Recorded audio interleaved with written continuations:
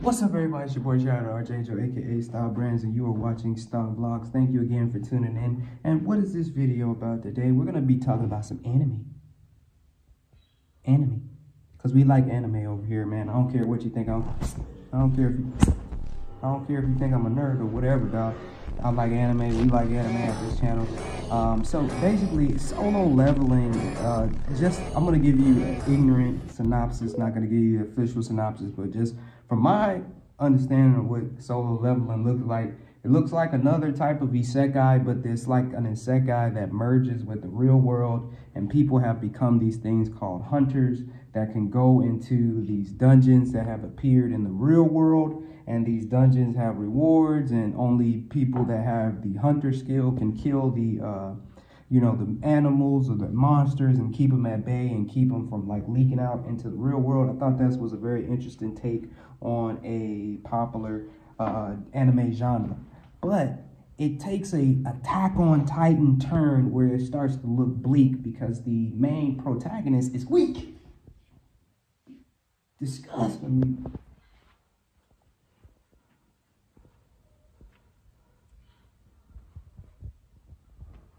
disgustingly weak, bruh. I don't like him being weak like that. But a lot of people that watch this show say the show is going to get better and the show is going to step up when it comes to like engaging you. Episode two is out now, so I'm not going to give any spoilers. I just wanted to know what do you think about solo leveling? People are saying that this show is going to surpass Naruto, it's going to surpass Dragon Ball Z, it's going to surpass One Piece, like they always say in the anime community when a new anime comes out. They said that about Chainsaw Man, and Chainsaw Man made some noise, but he ain't make all that noise, dog. So let me all uh, let me know what you think about solo leveling in the comments below. Have you watched episode one? Have you read the manga? Have you seen episode two? If so, give me your Crunchyroll pass, bro.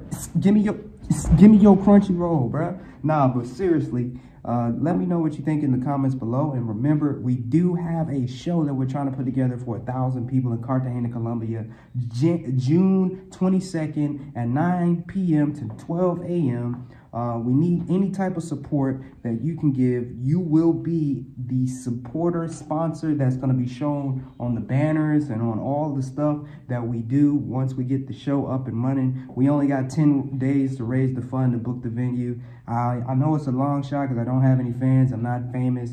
But I hope you all take a chance on me. Check it out. Get your tickets to Colombia.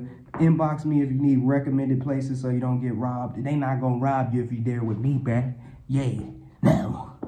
Yeah, but yeah, that's just this video for today. Jesus is Lord. Thank you for tuning in to Style Brands and STAA Vlogs. Click those links in the descriptions. Don't just click them, buy something. We got hair. We got Netflix subscriptions if you're overseas. We got reship locations if you're trying to buy something from a foreign country, but they don't ship to your location. We got uh, Ray-Bans and, and, and, eye, and, and optical uh, discounts that we got in descriptions. And if you're an artist, I can get your music played in the club for, uh, for a certain amount of money that doesn't hurt your pockets. And if you get more and more of these types of videos, it boosts your uh, profile, it boosts your, your clout, and it shows you a tangible, realistic place where your music will respond well. So click those links in the description. I want to thank you all again for tuning in to Style Brands and STAA Vlogs. And uh, leave me some comments of what you want me to talk about next or inbox me and follow me on social medias that I got over here so you can uh, DM me uh, some reactions that you want me to react to or a take that you want me to speak on.